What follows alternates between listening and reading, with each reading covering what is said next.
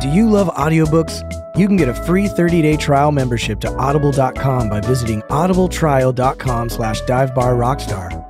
They have thousands of audiobook titles, as well as podcasts, guided wellness programs, theatrical performances, A-list comedy, and exclusive Audible originals you won't find anywhere else. Get your free trial membership at audibletrial.com slash divebarrockstar.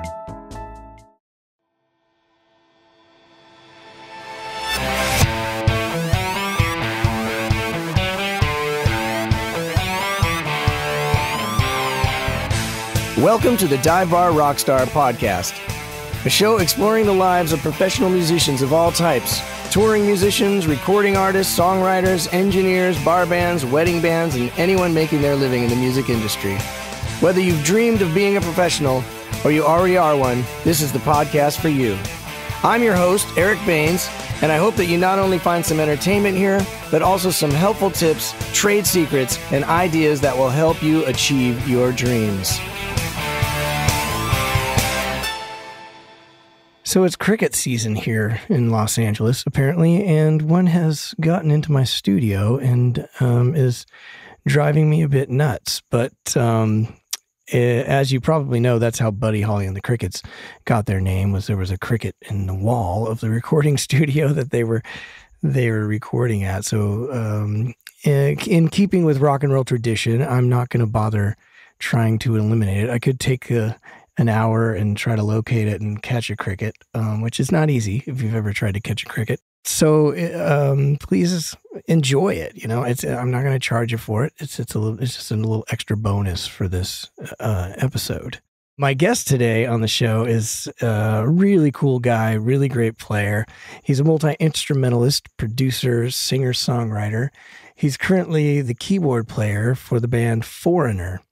But he's also toured with Enrique Iglesias, Shelby Lynne, Boz Scaggs, Linda Perry, uh, Anastacia, and Dancing with the Stars, just to name a few.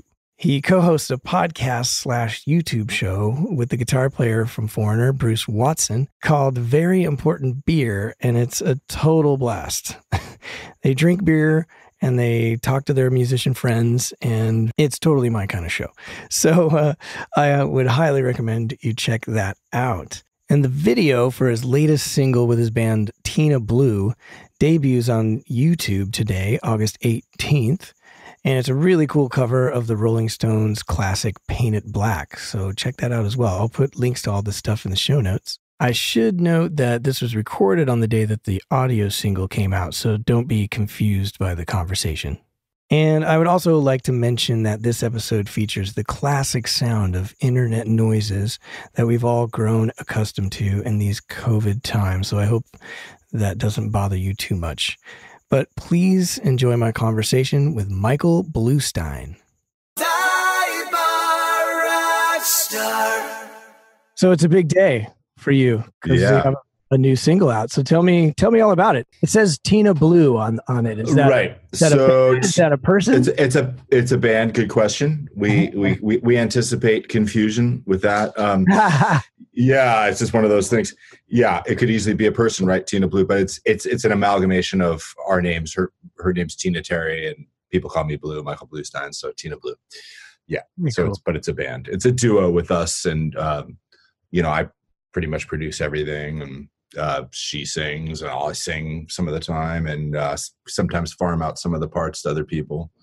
Uh, Bruce Watson from Foreigner Very cool. played played guitars and other. He's been doing. Yeah, he, he actually did some great stuff on this track, man. He did. Yeah. uh, yeah. You so you said you listened to it. That's great. Oh yeah, the, it sounds amazing. I love the song, anyways. Classic, you know, Paint It Black, Rolling Stones. Stones, yeah. And it's it, I, I just I, I've kind of been excited about this reinvention of some of those classic tunes lately, you know. Um Yeah.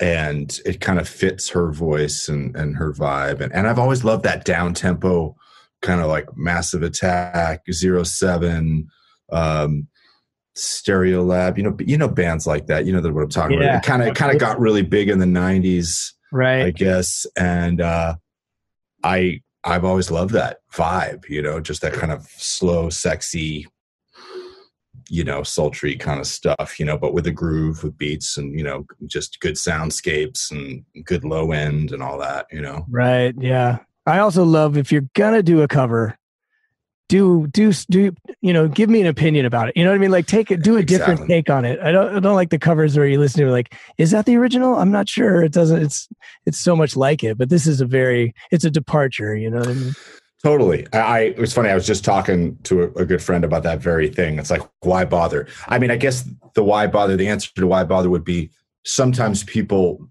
will actually do that, do the the, the sound alikes they call them, you know, so right. so they can you know, it's obviously much more expensive to get the Rolling Stones master of whatever satisfaction or you know miss you or you know right. whatever or whatever brown sugar or something uh to to get you know both the publishing and you know and the master the you know the writers the, the publishing the writers the master recording fee sync fee for that. So people will do a sound alike and then they only have to pay you know they don't have to pay as much the, like right. the film the film or the show so so i can see why people do that as like a business artists will do that as right. a kind of business decision like let's try to like make some money you know right exactly but but i mean artist yeah as an you know, artist and you're yeah. you're putting out a single and like so this was it's just a it's it's awesome. I really enjoyed it, and the guitars. Oh my gosh, was, it's just like a moody, really cool stuff.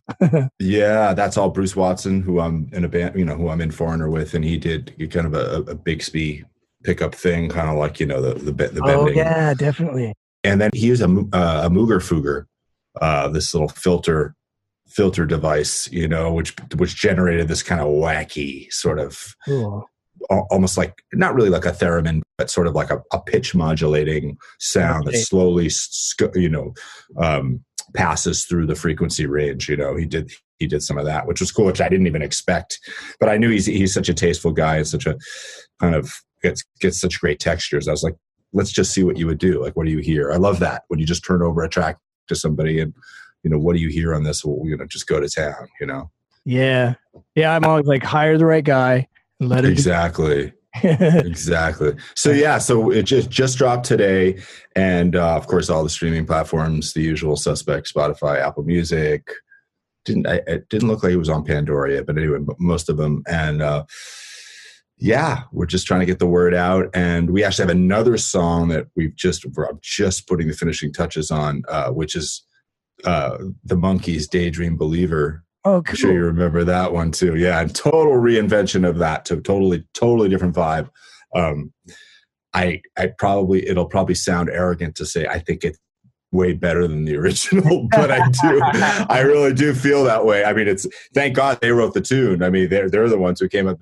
They're the reason why I get to do this because it's a it's an amazing song. Right. Um, but I'm really psyched about our version of that, and that'll that'll most likely be the next thing that we drop to. Oh, that's awesome. And you said there's a video coming out. Yeah. So yeah. So for Paint It Black, there's a video coming out on August 18th. August 18th. Perfect. Yeah.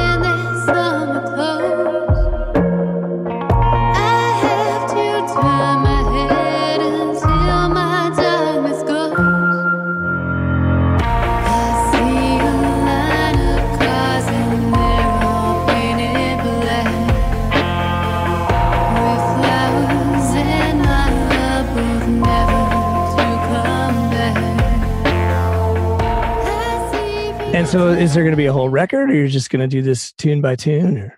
A good question. You know, it's something that like I wrestle with and she and I, Tina and I wrestle with. It's like the, in this day and age, it's like, is that still a relevant thing? Well, I mean, it's relevant to me because, you know, for people that are old enough that grew up with records and this full, you know, putting on a, an LP or a tape or a CD, whatever your format, and this journey that you take, the arc of a, of a record and how it's paced, and you know the, the, the thought that goes into the ordering of it. I mean, that whole thing is that's an amazing thing. It feels kind of like a lost art. Yeah. Um, you know, I have mixed feelings of like I do miss that, and I I do love love that format, but but also there's something kind of liberating about just putting out singles. Yeah. it's just like just put out a song and you put your energy into that and you put everything into that and you put it out in the world and it's kind of like I don't know. It's, it's sort of it's like a little less overwhelming than doing an album, you know. Yeah. Um, and you can kind of take your time with stuff. I mean, hopefully, it doesn't slow you down that that new paradigm of of doing singles. Um, right. But but to, but to answer your question, we haven't totally uh, we haven't totally decided. I mean, might be an EP. I mean, we're certainly getting enough material to at least do an EP. Um, a full length thing would be cool, you know. Um, we'll see. Right now, it's just in the single realm, though. Yeah, I, I, it gives me hope that people are are into vinyl because yeah. that means people are actually listening to records because there's no other way to do it if you've got a record. You know what I mean? You, exactly. You got to listen to a whole side, if you, you know, before you switch right. artists. so, yeah, I mean, you could. Yeah, you could go over there, and like pick up the needle, and very carefully go to track three or track four. But yeah, it, right. it, it, encourage, it encourages that kind of listening. Yeah. You know, um, yeah, people like whatever talk about side one of Abbey Road by the Beatles or side yeah. two of Abbey Road. Just like yeah. identifying it as a side is is pretty cool. You know, right? Totally. Yeah, man. Albums. I don't know. What do you think? Do you like? Do you want to? Are you still with your creative pursuits? I mean, is it kind of like do you? Or do you still hold strong with the album? Like you're you're into that? I really want to. I mean, I, I don't think in terms of, of singles, you know, when I'm saying like, you know, I haven't put out a record in a while, but when I think about now that I have the time off, I'm, I'm, thinking a lot about it, and it's like my brain just goes to record. You know, I, I kind of yeah. like to come up with a concept, and then you know you want to spend 45 minutes in it, but it's hard for me to think in terms of singles, just because for one, it's like just to put it out there is like 10 bucks versus you know 30 bucks to put out a whole record, or you know, as far as well, actually, you know what? Actually, that's not that has changed. Um, and believe me, I've learned a lot about that recently with with doing this. Hmm. Um, mm-hmm. Yeah, so through you know, DistroKid is uh, one of those. There's all these distro uh, digital distributors now. DistroKid, oh, right. TuneCore, CD Pay, CD Baby. Talk about an older name that's been around yeah. for a while. They do. Yeah. I think. I think their main thing is digital distribution these days. I think that that's kind of you know with the death of actual CDs. Right. They do a lot of, but DistroKid you can actually for twenty dollars per year you can put out unlimited material. Oh wow!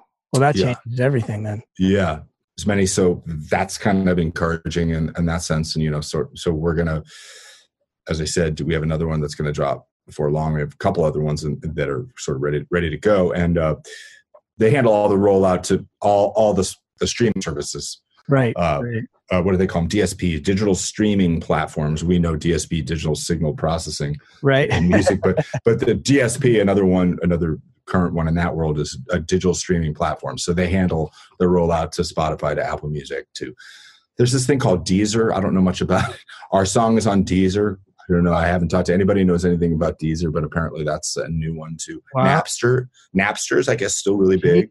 Huh. Yeah, as a streaming platform. Of course, Pandora, right. Google Pl- Google Play. Yeah. Um, there's YouTube Music, which right. is right. So anyway, there are a lot of them. But Obviously, you know what I, you yeah, know what I miss is like the B sides. I think when you're putting out a single, for me, it's like the pressure to make everyone a hit song, or, or, or like you know what I mean? Like when you're doing a record, you're like, well, this song is just for this vibe, you know, and it's not necessarily something you would listen to on its own, but in the in the context of the record, it's an amazing song. I I, I totally agree with that. I think that that's maybe there there is a pressure with that. Um, trying to remove myself with that. I mean, think, uh, and, and the version that we've done of, of Paint It Black is it's not like a big banger of a you know, it's a more moody kind of thing. So it's right. not going to be a tr- traditional big single song like whatever California Girls, Katy Perry, or something like that. Something like it's not a bang, it's not a banger by any stretch, you know. Um, right. But uh, I, I, hear what you're saying, and I, I, I think it's probably if you're going to do the single thing, it's important not to expect to put that kind of pressure on yourself. Like, okay, this is going to be this smash or something, you know. Right. That being said, I think the next one they're putting out the Monkees one I think is is pretty is pretty banging, pretty high energy. So anyway, yeah, that'll be fun. Absolutely. Well, I can't wait. That's gonna be awesome. Yeah. Well, speaking of records, you have your own solo records that I was. I do. Um, yeah, You have three on Spotify, right? that's right. It was interesting listening to it all because Reflections is your first one, right? Yeah, yeah. And and vocal record, very cool, very Thanks. Bruce Hornsby, very like Totally. your voice kind of has an Elvis Costello kind of vibe to it. and totally. Jamie- you're nailing you're nailing it all. Yep, totally. Jamie Yeah. Cullum, like, Oh yeah. Oh, that's flattering. I love him, man. He's Well, killer. especially when you you know you go from this kind of pop song into a jazz piano solo. It's so Jamie, Yeah. Cullum, you know, very very Yeah. cool. Um, and then you get to Wild World and Ambient Soul instrumental records. Yep. Um, a little bit of smooth jazz, maybe, but definitely contemporary jazz. Yep. Um, kind of a different thing. All great, by the way. Great melodies, you. great Thank you. tunes, great covers that you picked. Obviously, a Steely Dan fan. Huge. but uh, so what made you sort of make that change and I don't know, kind of give up on the vocals? Uh, I wouldn't say I really ever gave up on him, um, but I, but I did take a sort of break from that, and and I, I guess there's always been these parallel pursuits of songwriting and instrumental and jazz piano. I mean, I fell in love with jazz in high school and um, college, and really went down that path pretty hardcore. Mhm. So, um, but they always kind of existed. It's just sort of like, you know, we only have so much energy and attention. So when I was in a, a mode of really working on my jazz, I would just be real super focused on the practicing and the transcribing of solos and, right. and all that stuff. Um, and then, you know, switch gears and kind of like get back to the, the writing of songs and kind of maybe a more simpler like harmonically simpler approach, which it, what will happen with my songs. I don't write, you know, super, super harmonically complex pop songs. Really, you know, I mean, I wouldn't even, you know, I don't use as many chords as Steely Dan does. I mean, I don't know how they. yeah, we all we all would love to know how they've done that in such a way that was, you know, became so successful in a pop realm. I Right. mean, they're pretty much outliers in that Yeah. sense. I think. You know? That's true. I think so. but to answer your question, you know, I my initial love of music, you know, I didn't when I was a kid, it was always just like '70s light rock and you know, um, whatever. You know, I grew up listening to Cat Stevens and Paul Simon and the Bee Gees, and Right. um, you know, came to Steely Dan a little later. You know, uh, all that kind of classic stuff, um, Joni Mitchell, and yeah. So I mean, I never, I never have lost my love for that stuff. And and, and when I take a break, and if when I've took taken a break and really working on my instrumental playing or my jazz playing, it always creeps back up on me and reclaims me to write songs and get back and to sing again. I can't, you know what I mean? It's like Yeah. it just yeah, definitely. um, I read this book about creativity once that I, I'm tr- it's, it's it's called "Steal Like an Artist." I'm forgetting the author's name, and, and he just said like he's like you know he, he basically says don't be afraid to pursue your different interests within you know w- w- within your art, even if they seem like totally different. Like your question, like wow, that's where like you do this jazz stuff, but then you do these songs that kind of in a different place. But he just said you know the thing that mm-hmm. unifies them, the thing that puts them all together is the fact that you did them, whether or not they're really different. And, and he talks about for him when he would give up doing one of them, like, you know, he, he was just doing music, but he wasn't writing short stories anymore or poetry or whatever. He, he would get what he would call phantom limb syndrome.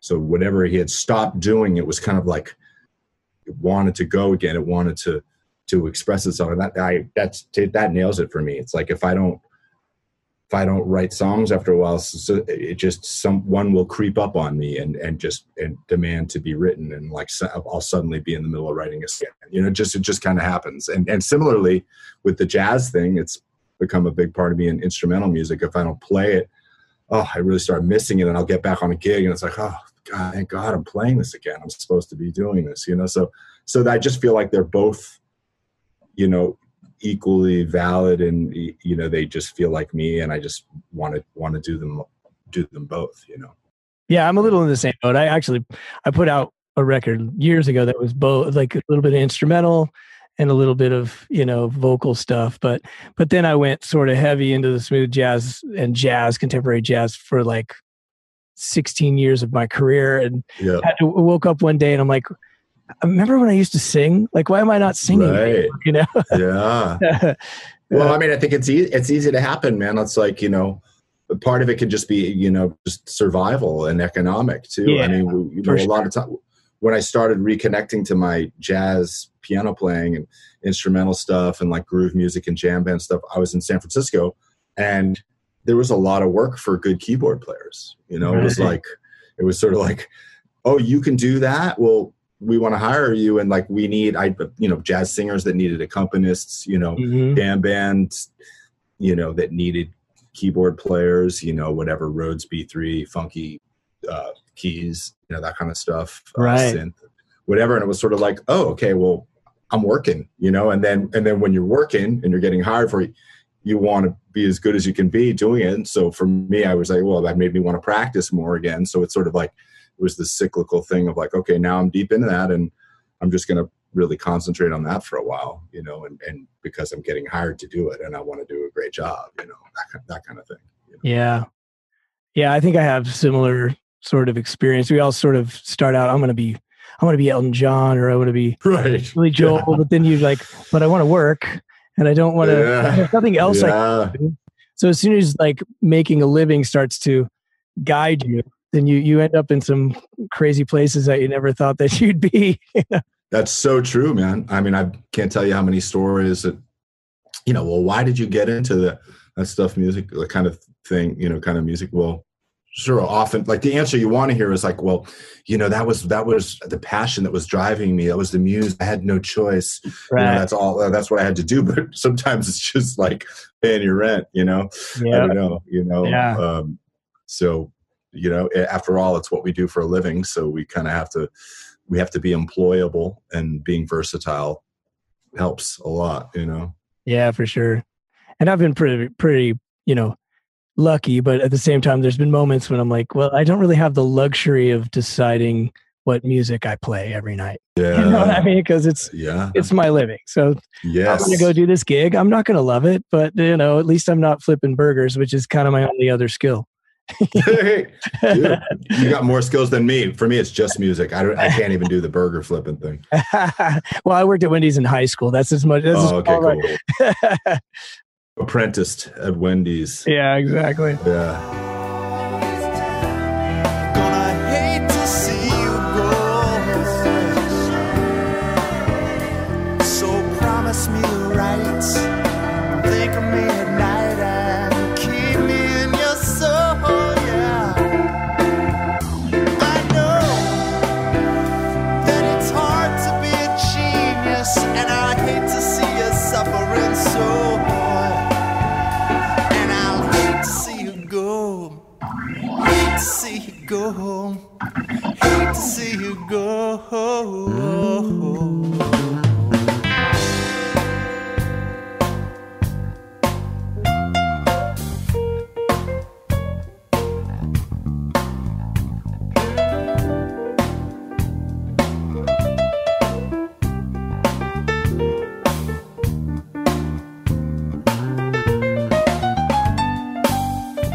And now you're uh, playing with the world famous band Foreigner, and uh, so that's quite a quite a leap from jazz to one of the biggest rock bands Yeah. in Yeah. history. Um, Yeah. How did how did that all happen? Did you have to audition for that gig, or I did. Yeah. In uh, 2008, I ran into Paul Mirkovich at NAMM, and people who don't know Paul Paul Mirkovich, great keyboard player, musical director guy, has been the musical director on The Voice. Oh, okay. mhm. God, I can't even remember how many years. I don't know, 10, 10 years maybe, however long The Voice has been happening. Anyway, um, he had come on as an interim member of Foreigner around that time in 2007 and uh, into early 2008. And when he came on, he said, you know, I'll help you guys out, play some keys with you, but uh, for you, but I can't, you know, I have other commitments. I can't make this a permanent thing, but I'll help you find someone when I have to leave. So it was just, just, you know, good timing. Ran into him at NAMM in 2008 and we hadn't seen each other. We had worked together with another artist, Anastacia, back in 2004 and 2005. He had Oh, been the yeah. musical. He had been the musical director for Anastacia. I had auditioned and gotten the gig on that and toured with her for a couple years. Oh, cool. And and so you know knew Paul and he knew kind of you know what I could do and kind of keyboard player I was and everything. And uh, yeah, so I ran into him and he said, you know, great, let's bring you in for an audition because I can't do this gig for that much longer. And that's how it worked out. You know. Oh, that's great. Um, and you know, speak and with the foreigner thing, again, you know, it's like I grew up in the I was a kid in the '70s, so you know, foreigner in the late '70s, Yeah. you know, the word ubiquitous comes to mind. I mean, it was just, I mean, just constant, and I Yeah. love those tunes. Again, I Yeah. loved '70s rock and '70s pop, and I was like, yeah, I. so for me to, it, it, you know, it, it never these different things they don't feel like a stretch because I I love them all, you know. So Yeah. you know. Yeah. And it seems like you get to kind of play on that gig. I was watching, there's a YouTube clip of you doing the intro to uh, Jukebox Hero. Oh yeah, yeah, You- at least you, you kind of get a moment to, to do some stuff. That was kind of cool. yeah. I do like uh, some synth stuff, and then some. You know, the, there's some loops go down, and it becomes a kind of keyboard and drum solo joint Yeah.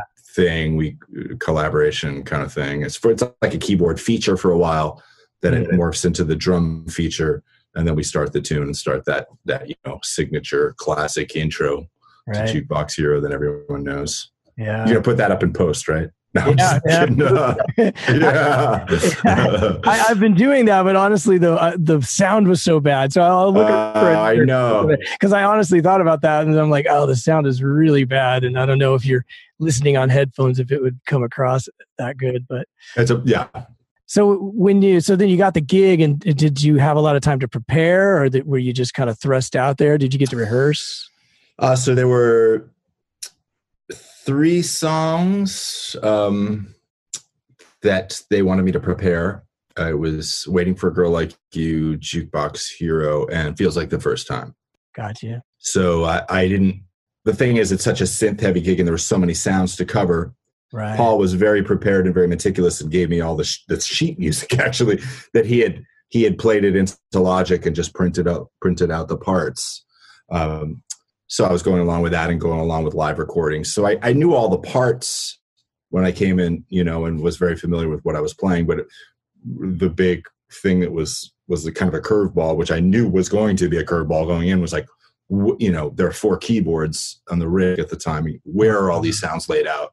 you know, right. for people that are listening in that maybe aren't keyboard players or aren't musicians like it's like you map out sections of the keyboard. So maybe there's some strings in the lower two octaves of the keyboard. You get to the middle. Maybe there's a piano there. Maybe there's horns. Maybe there's samples you know you have to know where everything's and, and you lay that when you program you lay all these different sounds out in different zones of the keyboard so that you can at the right time you can jump to the chorus oh, okay there's the chorus figure. It's up on this this top keyboard way up in the top top octave and you play it up there. So so that was the thing of like you know i just didn't know where and, and then if he tells you where it is in that second okay you're going to play and then you're going to jump here obviously you need a little time to for the chord it's it's sort of like it's it's like the choreography that keyboard players Right. that we keyboard players have to do. You have to jump around and be infinite you know it's like okay now this is the b section. I jump up here and i do that. So and it takes a little while to become comfortable with that if, if you're doing a lot of it you know so so oh yeah so there were things i was missing like crazy on the audition because i,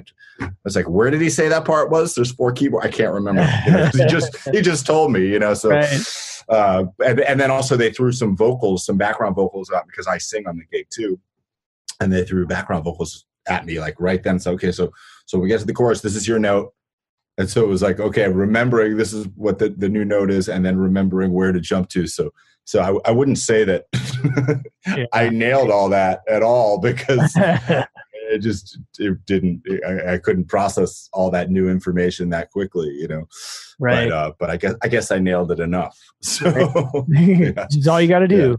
yeah yeah so, exactly. so then uh, once you got the gig, then was it like did they rehearse a lot or because it seems like they not work a lot. foreigner does work a lot um under normal circumstances like Right. easily 100 plus shows a year 100 Yeah. 105 to 110 you know easily Yeah. um so so yeah, there wasn't, and it's not a big band that's big on rehearsing a ton, you know. Yeah, right. So we, you know, I, I basically came out uh, when I was going to start in March of 2008. I came out to just sort of be there, play with them during sound checks. Paul was still playing keys with the band; he was still on the gig, but I kind of came in to kind of, you know, to ease my way in for a couple days. Uh, You know, so I would I would practice with them on sound check for a few tunes then I'd go out and hang out and watch him do the gig, you know, and then we did that for a couple of nights. And then I think on the third night, or maybe it was two or three shows that I got, I saw him do, and then he took off and I was on the gig and it was, yeah. and it was sink or swim, you know? Yeah. the training wheels are off. Exactly. That's pretty cool. And we're, so you were obviously a fan when you were a kid too. So that yeah. so it was probably pretty cool to just be now I'm playing with these dudes. The juke, yeah, first night doing Jukebox Hero was definitely, I was fanboying hard up there. You know, I was, yeah, the lights go down and the intro starts and I'm hitting that boom, boom, boom, boom, boom, boom, boom, you know, yeah. Thomas Dolby. Thomas Dol- Dolby did all the keys. A lot of people don't know that. Oh But that wow. was, that was before Thomas Dolby was, you know, she blinded me with science and had his own career. He was a keyboard session whiz guy, uh, you know, great programmer and great keyboard sound guy, manipulator and programmer. And he was brought in on Foreigner Four to program and play play synths. And so a lot of what I'm playing on those classic, uh, you know, Foreigner Four songs like Urgent, Jukebox Hero, mm-hmm. Waiting for a Girl Like You, almost all of that is Thomas Dolby's stuff. Wow. Yeah. And it's a, you know, it's it's pretty cool to have a gig that works that much too cuz it just seems like you know, there's so many gigs that are just a summer tour or a pop tour that's out for a year and then it's, and the, the artist goes away, you know, to have one of the because I, I work with Dwight Yoakam now and it's kind of the same type of gig where he just works like crazy and it's kind of a lucky thing to have at this stage. Yeah, man. I think we're similar in the sense too. So you have your records out and then you've got your gig and it's like the juggling sideman versus artist. Were you ever, did you ever envision being the artist Oh, absolutely. when absolutely. you were making these I mean- records and stuff? I mean, you said it. You know, I mean, I, I think it's a pretty common thing. You know, I mean, you, and I mean, actually, and you said Billy Joel, Elton John. I mean, as a piano player, as a keyboard player, those guys were kind of the benchmark of Right. you know amazing songwriters and great players, and just reached the pinnacle of success. You know, Yeah. brilliant guys, and they kind of.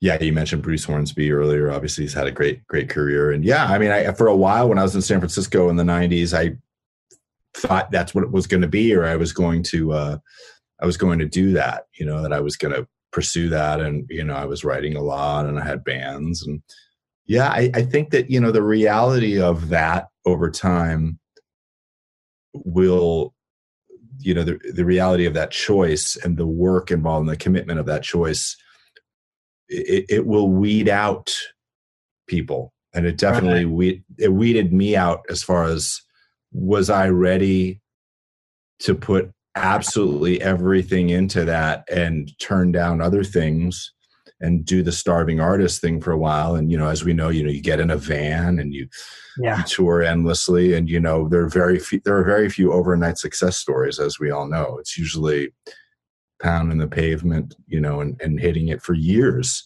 before hopefully you get some sort of break or in those days maybe get a record deal you know Right. um, um, you know, whatever that that uh, you know, that gold, that pot of gold at the end of the rainbow, you know, which I think most people would agree these days in that world is probably harder than ever because because of streaming and because of the low royalty rates and because of you know the lack of actual physical CD sales, CD sales, and all that. I mean, so so so you know, if it was hard then, it's even harder now. I think, but um, you know, but I, but I also you know because of the of the stuff we said before, being employable as a keyboard player and getting other work, and it was sort of like, okay, well, I can make a, a living here doing this other stuff, which I like doing too.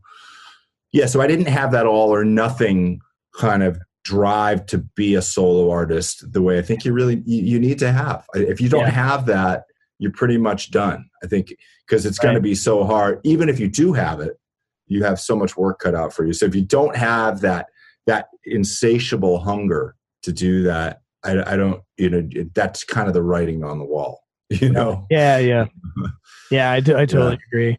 I think yeah. I'm, I'm I'm much the same boat, and now it's like now when you put out a record, it's more about expressing yourself and and and not so much pressure and like this is going to be my living or this is going to yeah. be this is going to be the record that breaks me you know now it's like oh i just need to make a record and, and i know and it's, it's expression soul, you know expression yeah. And, and I, I love songwriting and i love producing. I love being in the studio. I could spend all my time here you yeah. know?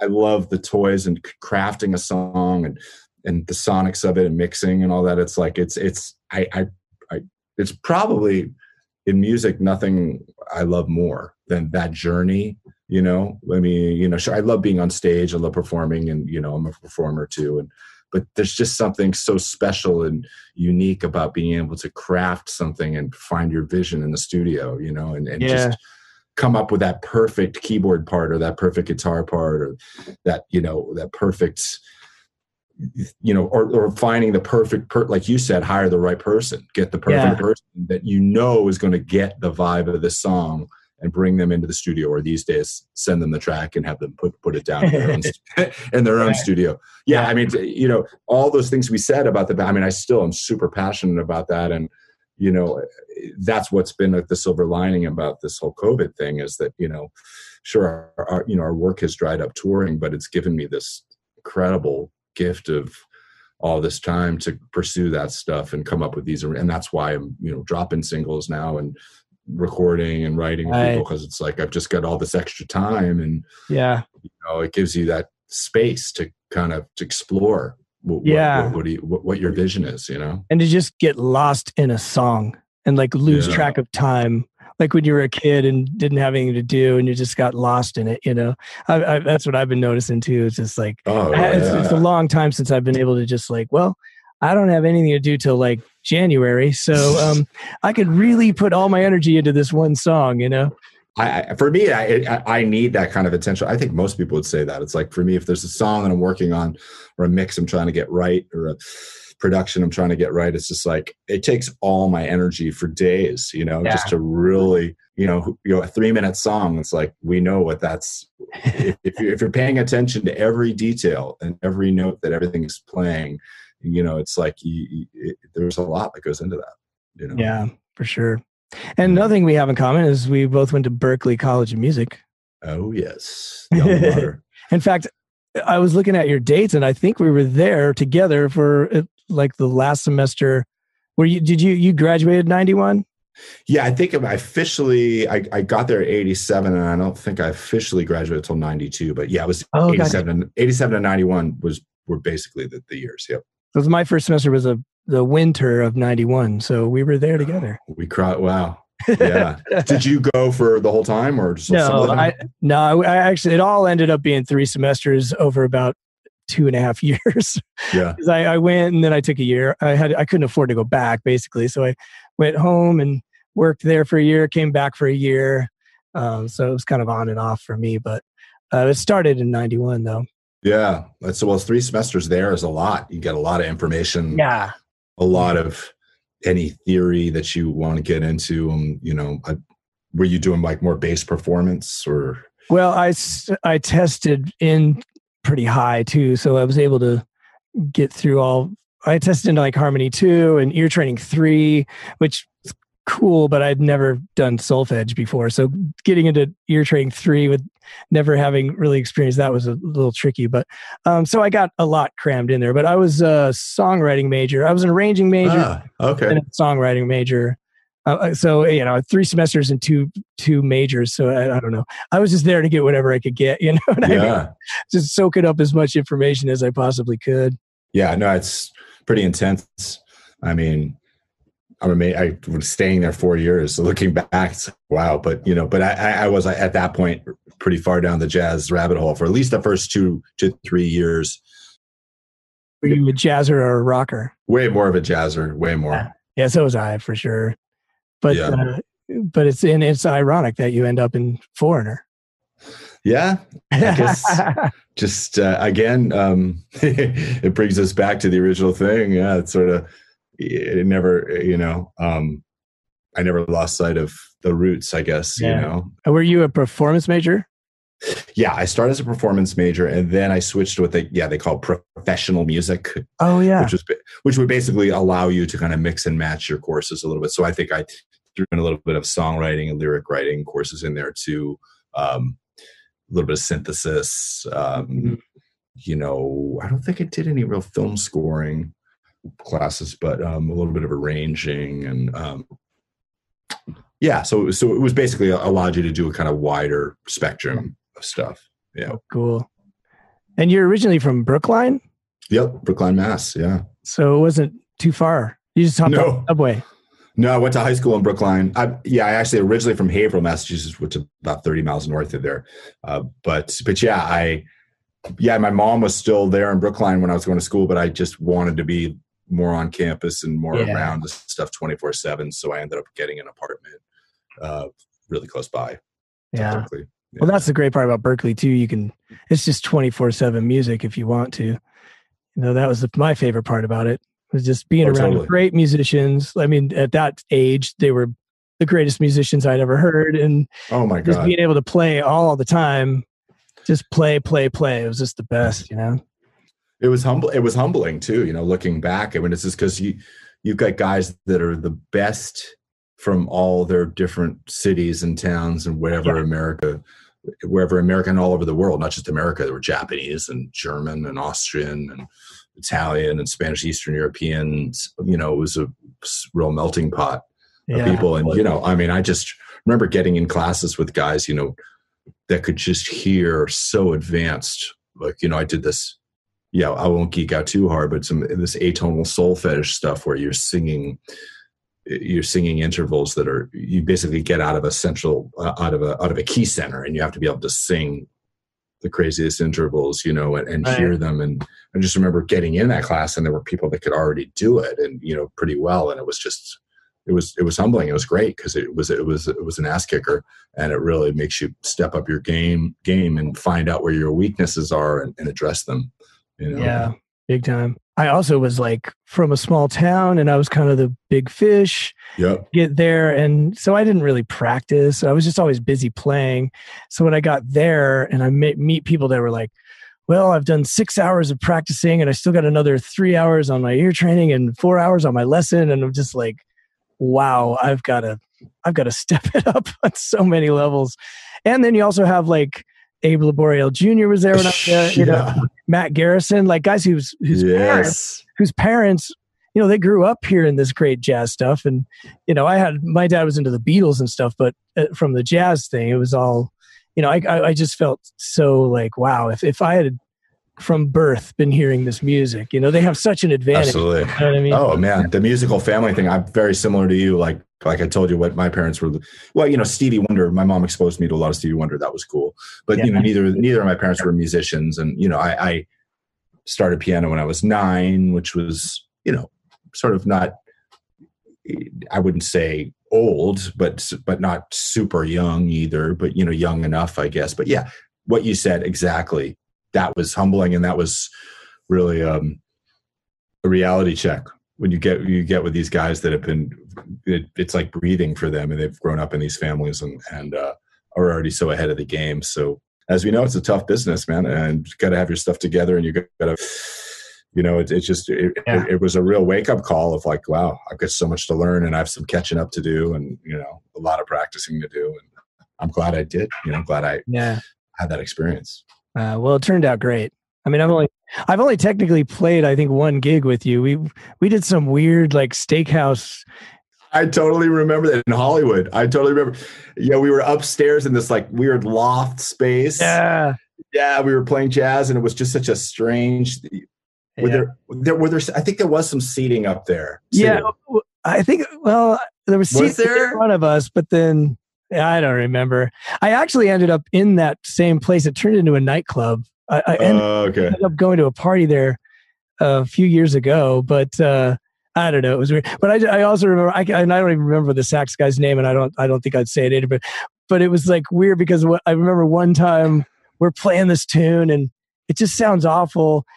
But uh, you know we're kind of killing it. The rhythm section's doing it, and he turned around at the end. And he goes, well, that was something. And I looked at his chart and I'm like, what was wrong? And I looked at his chart and his chart wasn't transposed. So he was like, we were all playing in the same key, but he's playing a saxophone. You know what I mean? So he's just not playing the right melody the entire time. And he was playing it. Oh my god! And I'm like, oh, yeah. I remember there was some, shall I say, um, because we were just sight reading all this this stuff, you know, which is kind of fun. But we're maybe playing some standard. I think some yeah. standards and stuff. Yeah. yeah, yeah, yeah. I I don't remember it being the most musically satisfying gig I'd ever had. but um, yeah, but, but anyway. yeah, I remember we bonded on that, and we kind of had fun and had some laughs and. uh was there was a drummer on that gig too, right? Yeah, I was trying to remember today who it be. It might have been Chad Wright, because I know I I thought I got the gig. I don't I don't remember. I don't oh man, Love I don't it. even Love remember it. how the gig came up, but that would have been like two, seriously 2003 oh, or four probably because I moved to LA in 2003 and it was pretty shortly after I moved to LA. I'm pretty sure. yeah. sure. Yeah. yeah, probably 2004. I remember you saying that you had just moved to town. Yeah. Okay. Yeah. 2004. Yeah, that makes sense. Yeah. Wow. I, I, I thought I thought I, remembered that we did one gig together. So yeah. I'm glad you But I always remembered you because you're just a great, awesome player. It was very. Well, thanks, man. Thank so there are a lot of us out of work right now, uh, waiting to get back to playing shows and touring. And I know I've had to do whatever I can do to take my mind off the situation from time to time. And one of the ways to pass the time is to catch up on some books you've missed. But if you're like me and you don't love to read, there's another way you can consume. Audible.com has thousands of titles to choose from, including audiobooks about music production, songwriting, the music business, music theory, instructional audiobooks, and biographies of your favorite musical heroes. But besides audiobooks, you can also listen to podcasts, theatrical performances, A list comedy, and exclusive audio originals you won't find anywhere else. Right now, you can get a free 30-day trial if you visit audibletrial.com slash divebarrockstar. That's audibletrial.com slash divebarrockstar, and you can catch up on your audio reading. I'd like to take a second to thank you for listening to the Dive Bar Rockstar podcast. As a new podcast, getting the word out is a vital part of what it takes to keep the show on the road, uh, or off the road, as the current case may be. If you would like to support the podcast, all you got to do is subscribe wherever you listen. And if you have an extra minute or two, please leave a review. You can also share and follow the podcast on your social media apps. Okay, enough begging. I hope you're having fun and once again, thank you for listening. And so, has Berklee like that experience, uh, has that, it's, uh, how's that affected your career? Are you glad that you went to college? Do you bring that to the job every day or is that, uh, I really am glad. Like I'm, you know, I, I think that you know people talk about uh, sort of there's a there's this kind of outlier extreme thing of these people that never you know quote unquote never learned a note of theory or, or never learned a, a, bit of theory or never learned how to read anything you know like always talk about like the beatles you know paul mccartney and right. john lennon those guys didn't read music and look what they came up with okay yeah that may be true but you know we're not all paul mccartney and john lennon you know um, I know I'm certainly not. And, you know, I, I think that if you have a feel for music and you have some soul in you, that you, when you learn this other stuff, from in my experience, for me, it only helped. You know, I feel like I had, I had a feel and I had musicality, um, but it, it needed some attention and it needed, I needed more knowledge.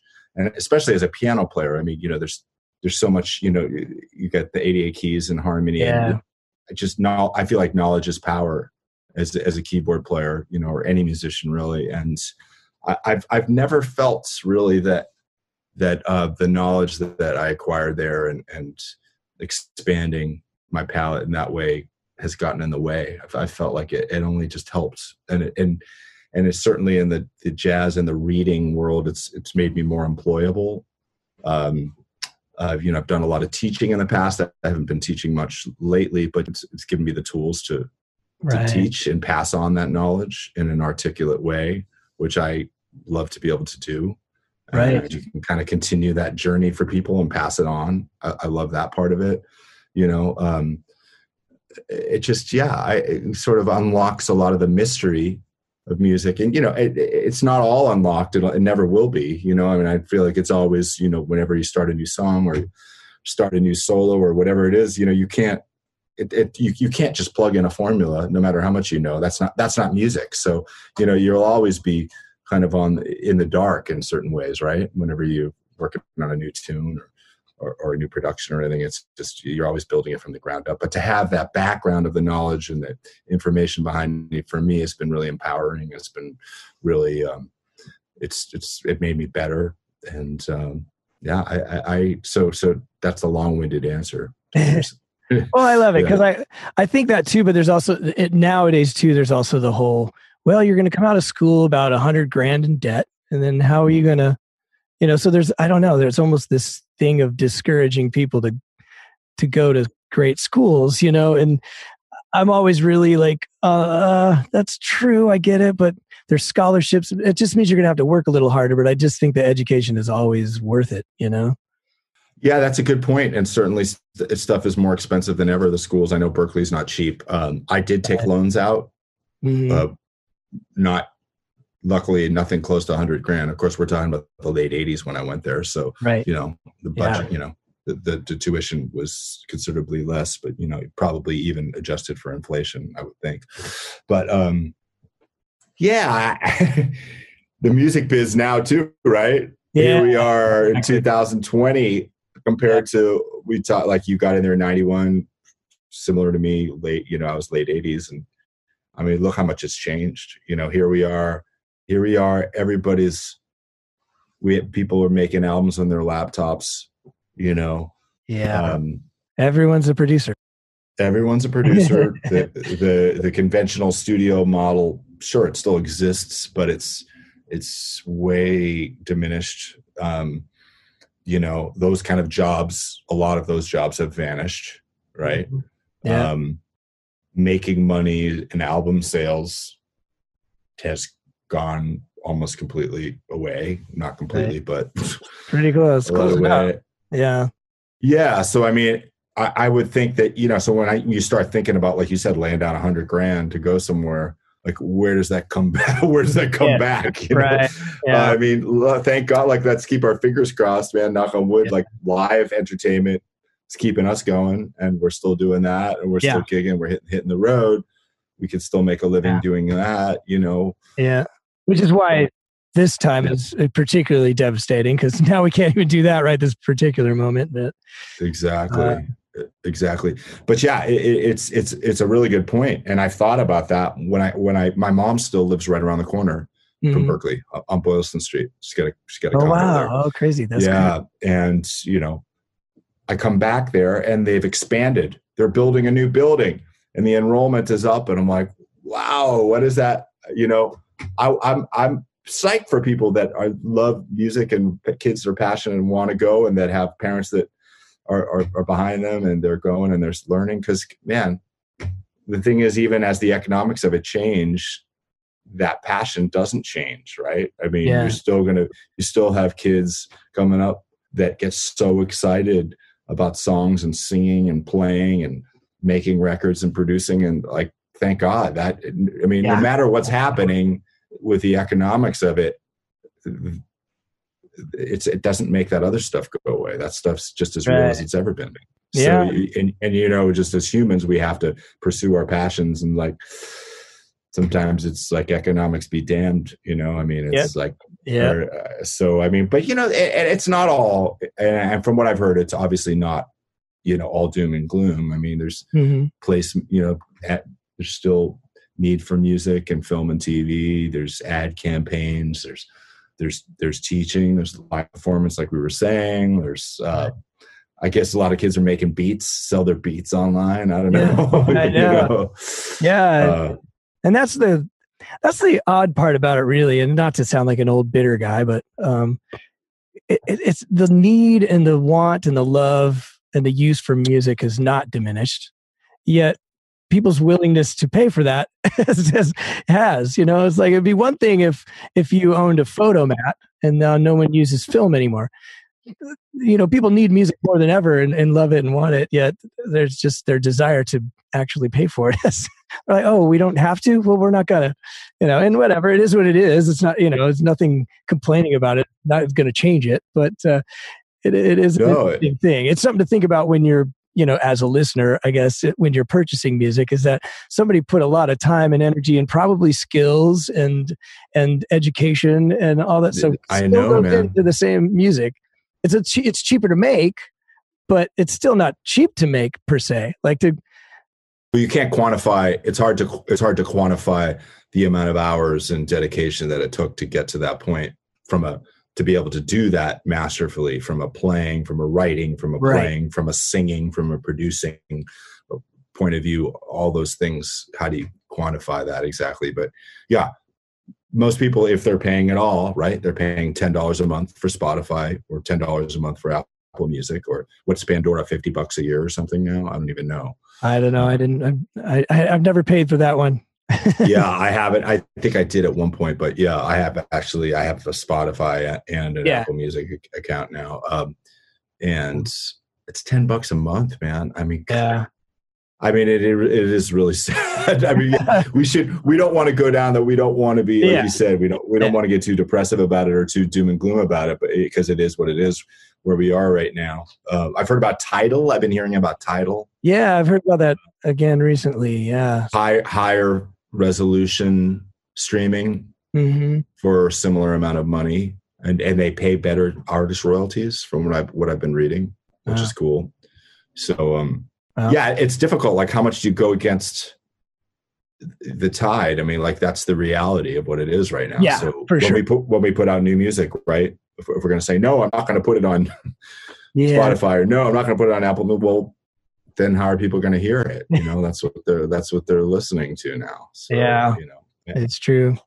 but you know but you bring up a, it, it's good it, it is sad when you get people that that have no concept of why they would ever pay for music right Like, Right. it's like it's kind of like well why would it, you know just kind of want to say well here's why you know like you said costs money to do it it costs money to have the skills and, Mm, um so at the least people like pay the 10 bucks a month Yeah. right. don't don't do the spotify free thing with the ads like at least pay the at least pay the 10 bucks It's like ten dollars a month for every song in the world. You know, like it's know, worth it. It's worth it. Seriously. like ten dollars. That's like one record a month in 1986. You know what I mean? exactly. oh. Yeah, a lower priced ones because weren't they like for so a lot of them were like sixteen ninety nine. Like Yeah, yeah, I remember I remember going over to Tower Records. Remember across the street Yeah. was was it was still Yeah. open right when you when Yeah. you got there. yeah. That place was amazing. I used to Yeah. live there. Man, I would be buying CDs all the time and Yeah. um, yeah, but yeah, you would be like, oh, it's only eight ninety nine. It's a bargain. It's nine Yeah. ten bucks. Totally. That's amazing. Yeah, like, oh, what, a, what a steal! It's on sale. yeah, because you were buying, you know, you're buying records and you know you're trying to learn and you're trying to soak up all that inform- the information and music, and so you you know if you could buy, you know, 20 records a week, you'd do it. You know, like it was it was Yeah. an investment just to be able to have access to all that music. I used to be over at Looney Tunes. I'll remember Looney Tunes. Oh, yeah, Looney Tunes, yeah. Wilson, yeah. I would get all my vinyl there. That place was great for the vinyl. Yeah. Or what was the there was a record store on um uh what's the other oh man now I can't remember. Tower Records was on that street, Back Bay, Newbury Comics. Yes, That was- Newbury Comics was on Newbury. Tower was on the corner of Newbury and Mass Yeah, Ave. And yeah, that, right. yeah, Exactly. yeah, yeah, yeah, Yeah. The Newbury Comics that was another good place for for records. That was a great place. Great place. Yeah. uh, Boston. I miss Boston. I love going back there. Yeah. You- So you do sometimes But yeah, once in a while on the road. on tour. Yeah. On yeah, tour, yeah. so I'll have like an afternoon there, and uh, once in a well, I used to. I, I was playing with Keiko Matsui for twelve years for for a long time, so we'd play at Scullers uh, years ago. So then we would be there for like four or five days in a row because it was the club gig, you know. So Yeah. then I would love it. We'd just take the subway in and.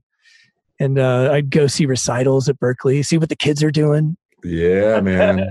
Berklee Performance Center. yeah, was- yeah. yeah. So it was pretty fun. Yeah.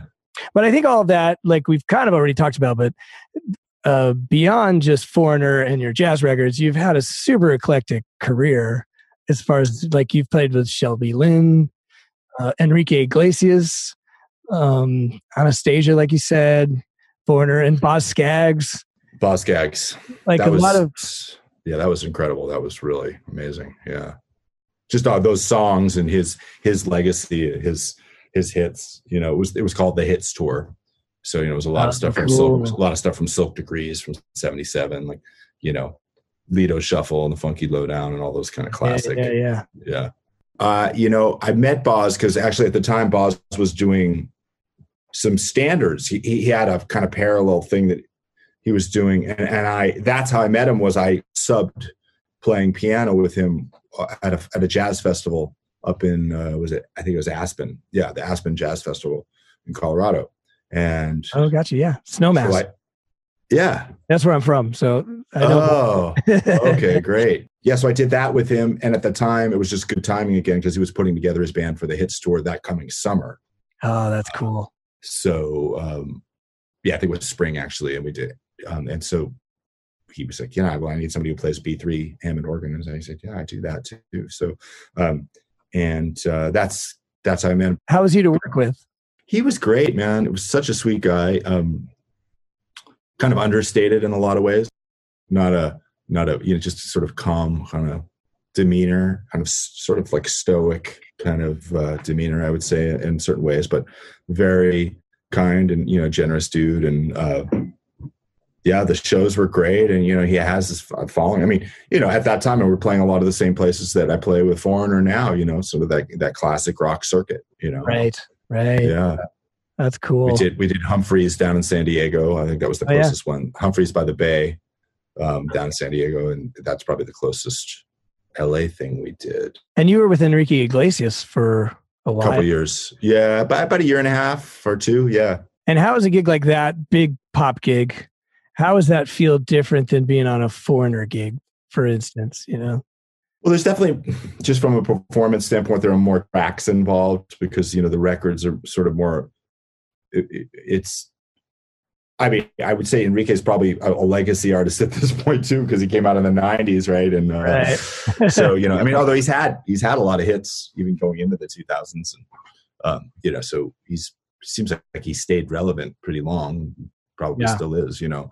Um, Mhm. but yeah, it was it was much more of a pop gig from the standpoint that there were more tracks involved and um, you know obviously less rock, uh, yeah, some rock Right. guitar and stuff, but um, a little more on the pop side in that you know Foreigner does not use tracks at all. got you. We do not use any tracks. Cool. Everything's live. So um, you know, so it's pretty typical for pop acts to use some tracks because with Yeah. modern production, you have certain sounds that get, get are pretty hard to recreate on stage. You know, so you just you you do the you use some of those Right. as you know. Yeah. So um so it was different, maybe more like that. But yeah, and he's kind of international heartthrob. So so you know, lots of screaming girls. right. Uh, uh, Bigger venues, probably. big venues, definitely. Yeah, huge venues. Yeah. So I want to talk about uh, your show. Like the rest of us, I started a podcast. We, we I mean, what else are we going to do? And uh, you guys started. Uh, it's a. Is it only on YouTube or is it? Well, yeah, it's it's actually on YouTube and all the podcast platforms. You know, Oh, so it goes out as a plot. app, app, yeah, exactly. So we film it. it. We we the main focus is the the YouTube. The, the Zoom video part of it with some post production stuff too, and uh, but then it all the audio portion gets pushed out on Spotify and Apple Music too. Cool. Yeah, we've been doing that. We started it in April. Uh, so we've been doing it for we're on a slight hiatus right now. We're kind of reconfiguring a couple of things, but we've done God, we've done 17 or 18 shows, I think, at this point. We were doing it, been Wow. doing it once a week, just just to show you how long quarantine, you know, we basically once quarantine, we were off the road, and that started early April. We launched the first show and it, it had been weekly since then until just this past week. Uh, Wow. but yeah, so it all kind of came about because Bruce and I would do these VIBs, stands for very important beer.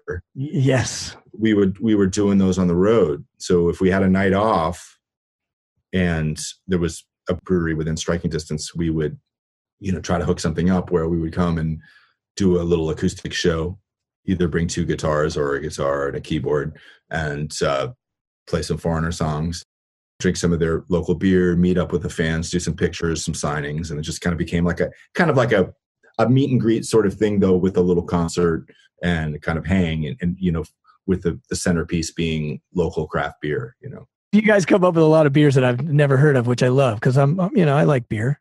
Yeah, so we do obviously the IPAs, and, and, you know you're from Colorado. Like the IPAs are huge up there. Yeah, that's my Um, thing for sure. You like IPAs? Yeah, that's my oh thing. yeah, yeah.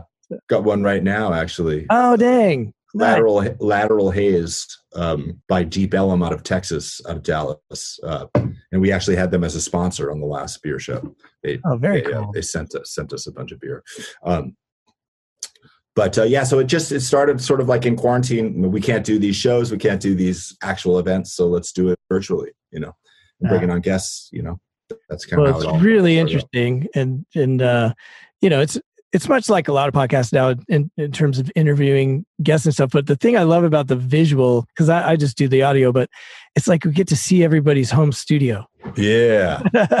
so that's kind of cool, and you get Well, into right now, yeah. I see you. You got you got lots of guitars and basses back there. I love it. Yeah. yeah, yeah. I've I finally have a pretty pretty okay. I, I turned my garage into a studio last year, so I was I'm pretty pretty comfortable. But it it seems like, especially in this COVID time, but like kind of in general, I feel like the home studio is is just another thing that you have to have.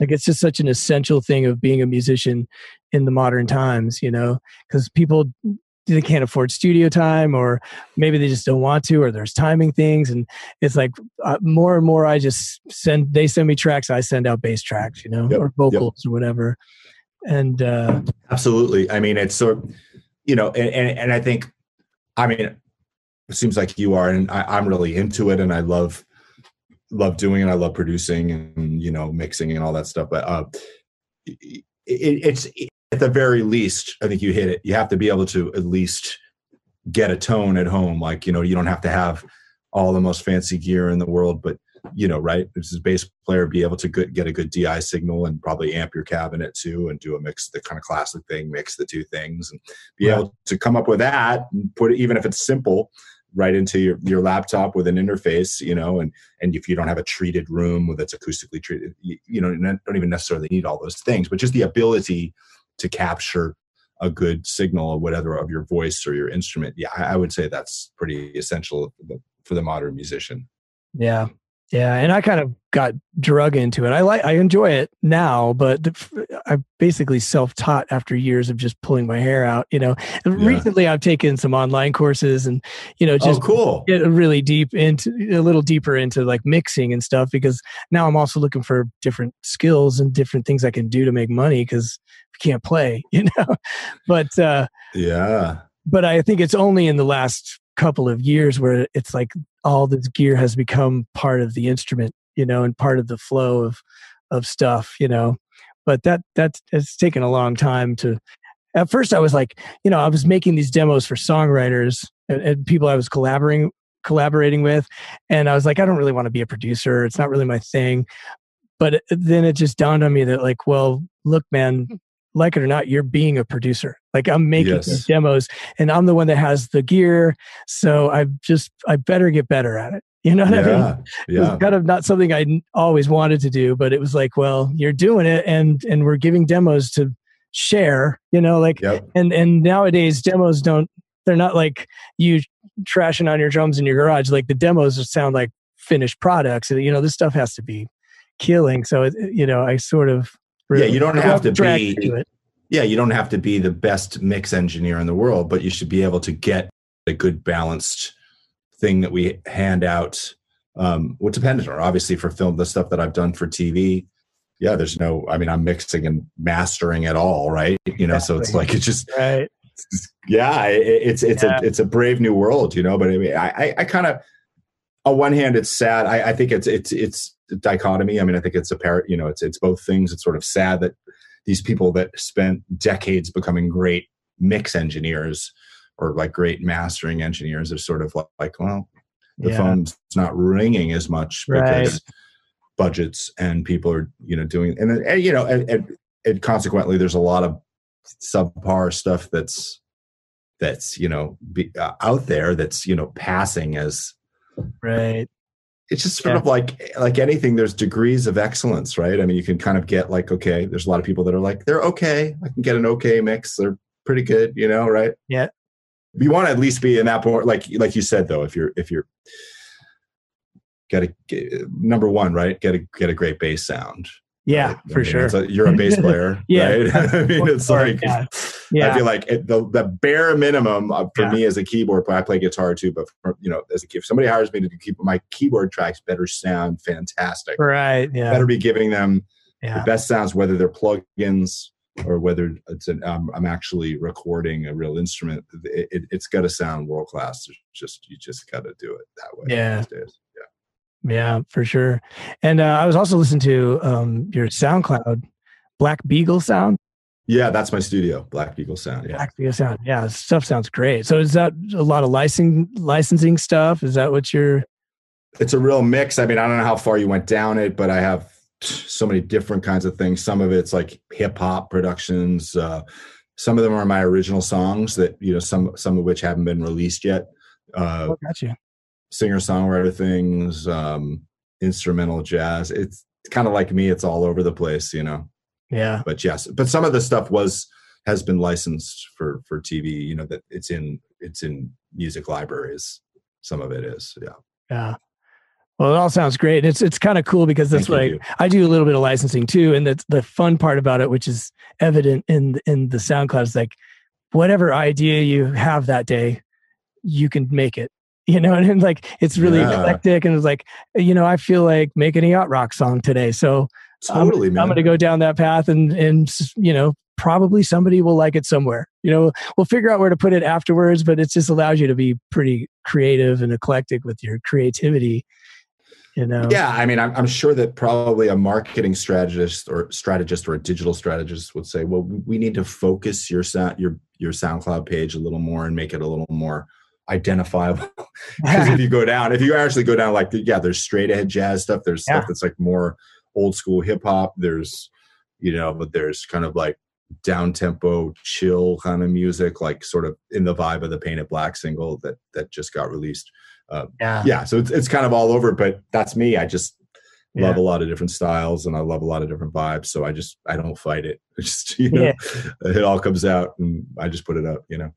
But I think about after all this bitter talk, that that's the positive of, of what's happening now. yes, there is a lot of places to put your music, no matter what kind of music you make, and or, or if you make a lot of different music. You know, if you're if you're kind of diligent about it and and uh, meet the right people, and and you know, licensing is still a pretty big way to to make some money. Yeah, no, there's definitely I've got a lot of stuff.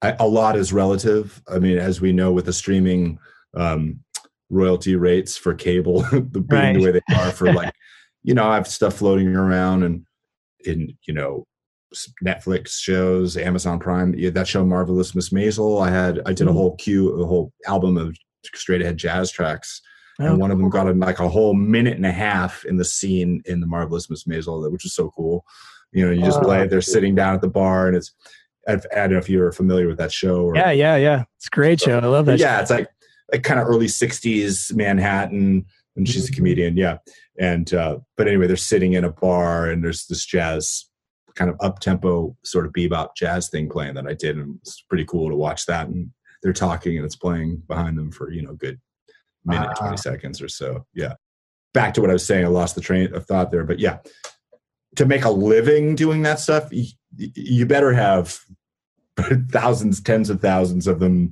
Yeah. spinning in rotation all the time you know you got to have the major network stuff which of course pays a better rate, royalty rate prime time you know then you got you'll have the cables you know have netflix hulu shows which pays a substantially lower rate Right. so you know you it's Yeah. it's you know it, it's it's really about having a lot of them I, I feel like i got into that game a little later i know guys that have been doing that stuff for so long that they've accrued so much of it that they actually yeah. are their their royalty checks are pretty nice because they got in it earlier you know um Yeah. but uh i'm i'm happy to be in the game anyway to have some stuff out there you know? Yeah. And I think that's like what it is to be a musician too. It's just about all these income streams, you know, you just do it all and and somehow the rent gets paid you know it's exciting though and again going back to going back to the positive i mean how cool is it that like guys like us that weren't like engineers or like producers whatever now we have the tools at our disposal to to make our stuff sound good you know? Yeah. i mean and it's sort of like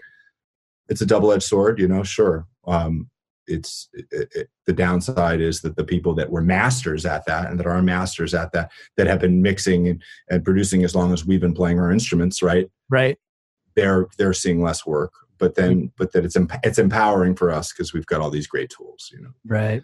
Right well this has been awesome man. A lot of great stuff. I really man. appreciate you doing the show. My pleasure. No this is great. Great questions great questions good uh, good stuff. It's all you know it, it's good to remember we're all kind of all in this together now in this new you know the covid world and making sense of it all and making the the modern musician career you know just just talking about that and comparing notes is always fun can i just i, I just want to put one last little plug that one song we didn't talk about i, I did a corona song uh, I don't know if oh you ever got to right i you heard ever got to I heard. yeah yeah that and it actually got some love on youtube and that's it's called why corona and uh it's an original song and that came out back in april so yeah if you want to throw that in. That that's also on all the platforms spotify apple music and everything too and there's a video official video for it Yeah, it's ex- it's excellent. I, I uh, that's the first one I listen to because it's the first one that comes up on your if you just you know search you on yeah Spotify. it's got it's gotten the most oh oh right yeah it's gotten the most hits because you kind of went through some of the foreigner channels which as we know you leverage the power of Right. Yeah. bigger bigger beast you can you can get get some more eyeballs on it but uh yeah anyway Yeah. Absolutely. Well, I appreciate it. Uh, you're an awesome player. You've had an awesome career, and um, thank you man back at you hopefully we'll, we'll play another horrible jazz gig sometime.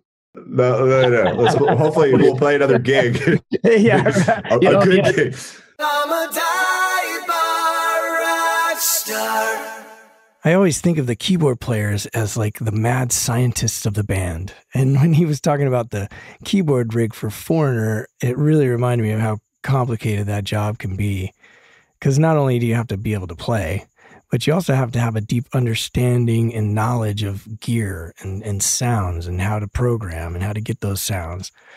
And, uh, you know, he's a, a great example of that. And he's singing as well. So, um, I just have a bass and a cable and an amp most of the time. We also were joking about the steakhouse gig that we did, and but but I think it's a really good example of why, if you're living in a major city like L.A. or New York or Nashville, wherever, um, you really have to take every gig seriously. Because I did a handful of those gigs, and I never knew who was going to be on it.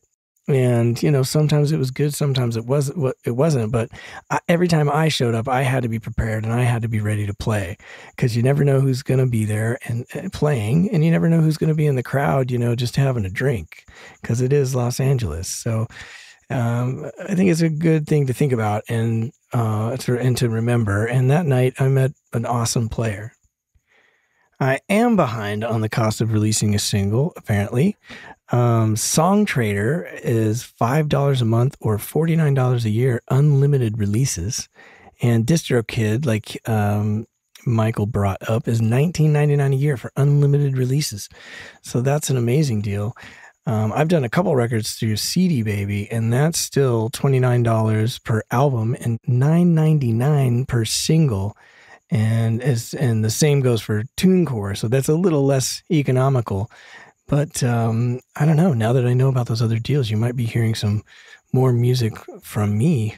And the guys we mentioned from Berklee that had musical families, uh, one was Matthew Garrison, and he's the son of Jimmy Garrison, who's legendary bass player for John Coltrane and Ornette Coleman. And also, Abraham Laboriel Jr. is the son of Abraham Laboriel, whose list of credits is way too long to, to mention. He's another legendary bass player. You should definitely know him. Uh, and Abraham Laboriel Jr. actually plays drums with Paul McCartney, so he did quite well after Berklee. Um, the NAMM show uh, we mentioned, uh, NAMM, N A M M, stands for North American Music Merchants, and it's basically a big convention that happens in January in Anaheim. And musicians show up in droves to either sort of shake hands with their the companies that they endorse, or play for the companies, and or sometimes shop for new endorsements. But also, it's just a really big hang. It's sort of the once a year that everyone shows up and and uh, and sees each other. And most people go, and and everyone complains about it every year. It's kind of a tradition. And the book Steal Like an Artist is by Austin Kleon. And there's actually a summary on it on audible.com if you like audiobooks. So if you do, go to audibletrial.com slash divebarrockstar and um, you could sign up for a free trial and listen to that book. And you'd really be helping out the podcast here. Well, I really hope you had a great time. I'm a dive bar rock star. Wow, you've made it to the end. I'm hoping it's because you completely enjoyed yourself and are now filled with knowledge and inspiration to move forward with your dreams. If that is the case and you would like to stay informed of new episodes, live events, and general news, please go to divebarrockstar.com and sign up for the mailing list. If you have any questions, comments, corrections, or complaints about anything you hear on the show, please email me at fanmail at divebarrockstar.com and you may even end up on the show. We at the Dive Bar Rockstar podcast, with all of our hearts, thank you for listening. And remember, it's all about dreams.